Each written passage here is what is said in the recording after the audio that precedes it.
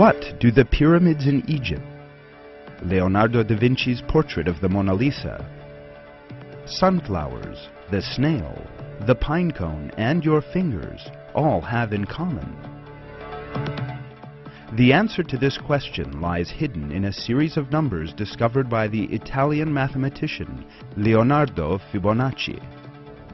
The characteristic of these numbers, known as the Fibonacci numbers, is that each one is the sum of the preceding two numbers.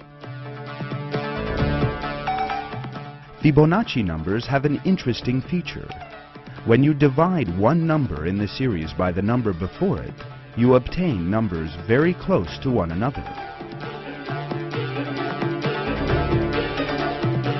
In fact, this number is fixed after the 13th in the series and is known as the golden ratio.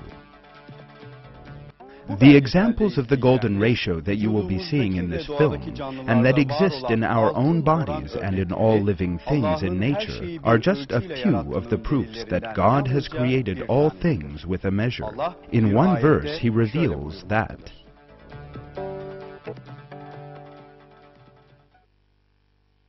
God has appointed a measure for all things.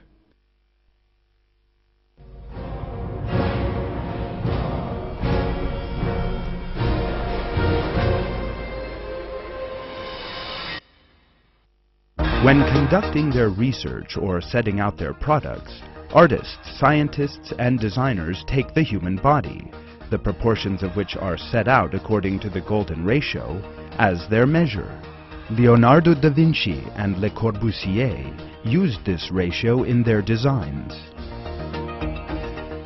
The human body, proportioned according to the golden ratio, is also taken as the basis in the Neufert, one of the most important reference books of modern-day architects. The ideal proportional relations that are suggested as existing among various parts of the average human body and that approximately meet the golden ratio values can be set out in a general plan. The TS ratio in the table below is always equivalent to the golden ratio. T divided by S equals 1.618.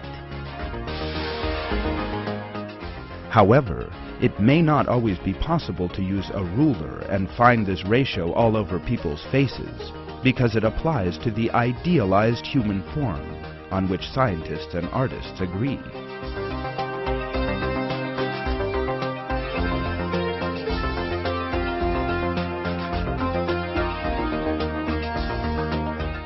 The first example of the golden ratio in the average human body is that when the distance between the navel and the foot is taken as one unit, the height of a human being is equivalent to 1.618.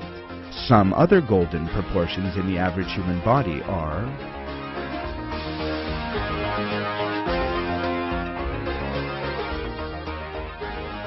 the distance between the fingertip and the elbow, the distance between the wrist and the elbow.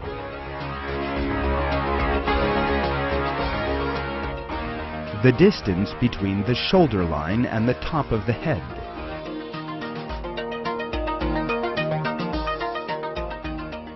The distance between the navel and the top of the head. The distance between the shoulder line and the top of the head.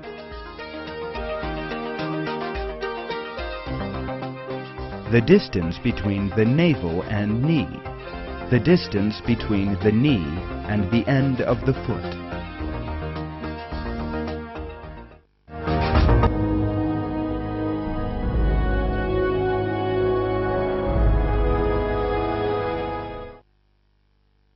Just turn your hand and look at your index finger. You will, in all likelihood, witness a golden proportion there. Our fingers have three sections. The proportion of the first two sections to the full length of the finger gives the golden ratio. This does not, of course, apply to the thumb with its two joints. You can also see that the proportion of the middle finger to the little finger is also a golden ratio. You have two hands, and the fingers on them consist of three sections.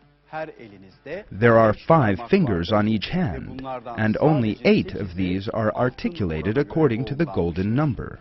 Two, three, five, and eight fit the Fibonacci numbers.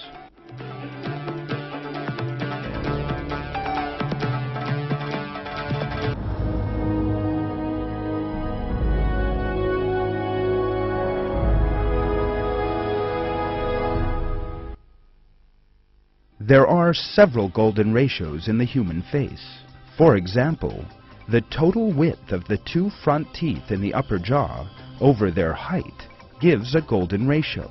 The width of the first tooth from the center to the second tooth also yields a golden ratio. These are the ideal proportions that a dentist may consider.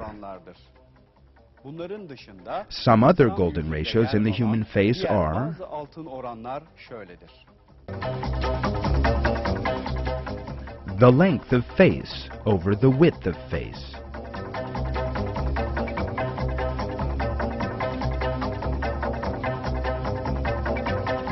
The distance between the lips and where the eyebrows meet over the length of nose. The length of face over the distance between tip of jaw and where the eyebrows meet.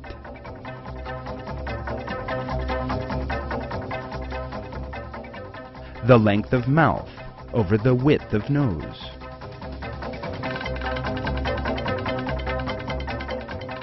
The width of nose over the distance between nostrils.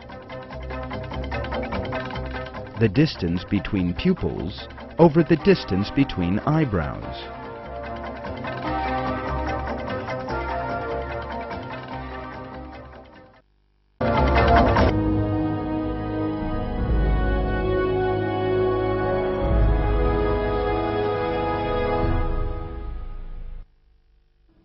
In a study carried out between 1985 and 1987, the American physicist Bruce West and professor of medicine Ari Goldberger revealed the existence of the golden ratio in the structure of the lung. One feature of the network of the bronchi that constitutes the lung is that it is asymmetric. For example, the windpipe divides into two main bronchi, one long on the left and the other short on the right. This asymmetrical division continues into the subsequent subdivisions of the bronchi. It was determined that in all these divisions, the proportion of the short bronchus to the long was always 1 over 1.618. All this information once again shows the superior nature of our Lord's creation. In verses of the Quran, it is revealed that God created man within a proportion. He who created you and formed you and proportioned you and assembled you in whatever way he willed.